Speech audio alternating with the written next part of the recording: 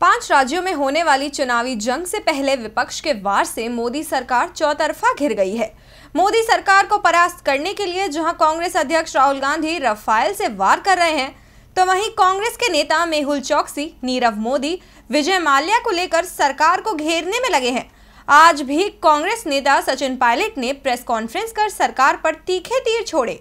साथ ही वित्त मंत्री अरुण जेटली का इस्तीफा मांगा। भगोड़े विजय माल्या ने वित्त मंत्री अरुण जेटली से मुलाकात की बात क्या कही कि देश की सियासत में भूचाल आ गया। विपक्ष ने मोदी सरकार पर माल्या को भगाने का आरोप लगाया और राजनीतिक गलियारों में इस बात पर खूब हल्ला मचा।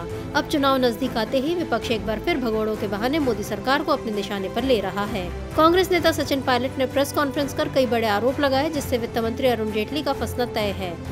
सचिन पायलट ने आरोप लगाया कि मोदी सरकार देश का पैसा लूटने वालों की मदद कर रही है।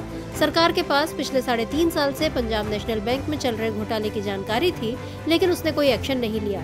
इतना ही नहीं, कांग्रेस नेता ने तो अरुण जेटली की बेटी का लिंक भी मेहुल चौकसी से निकाल दिया।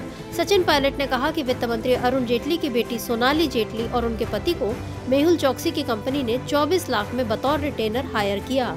बाद में ये 24 लाख वापस लौटा दिए गए। लेकिन सवाल यह है कि सत्ता से जुड़े लोग ही भगोड़े लोगों की वकालत करने क्यों आगे आते हैं? पहले पैसा लेकर भगवाओ, फिर कानूनी संरक्षण दो। सचिन पायलट ने सवाल किया कि एक फ्रॉड कंपनी का बचाव करने के लिए क्यों वित्त मंत्री की बेटी की फर्म को हायर किया? ये सब खुद से नहीं हुआ, इसके पीछे पूरी साजिश है।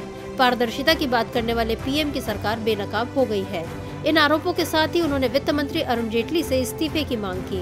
मोदी सरकार पर कांग्रेस के वार लगातार तेज होते जा रहे हैं। अब देखना होगा कि सरकार इस वार से कैसे बचती है। डीबी लाइव की रिपोर्ट। हमारे चैनल से जुड़े रहने के लिए यूट्यूब पर टाइप करें डीबी लाइव, सब्सक्राइब बटन को क्लिक करें और बेल आइकन को दबाना न भूलें ताकि खबरें आप तक पहुँचती रहें।